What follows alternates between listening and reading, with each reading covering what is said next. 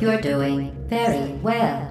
Please be advised that a noticeable taste of blood is not part of any test protocol, but is an unintended side effect of the Aperture Science Material Emancipation Grill, which may, in semi-rare cases, emancipate dental fillings, crowns, tooth enamel, and teeth.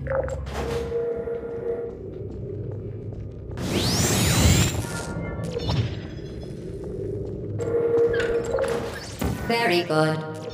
You are now in possession of the Aperture Science handheld portal device. With it, you can create your own portals. These intradimensional gates have proven to be completely safe.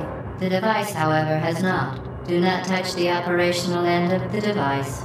Do not look directly at the operational end of the device. Do not submerge the device in liquid, even partially. Most importantly, under no circumstances should you. Please proceed to the chamber lock. Mind the gap. Well done. Remember, the Aperture Science Bring Your Daughter to Work Day is the perfect time to have her tested.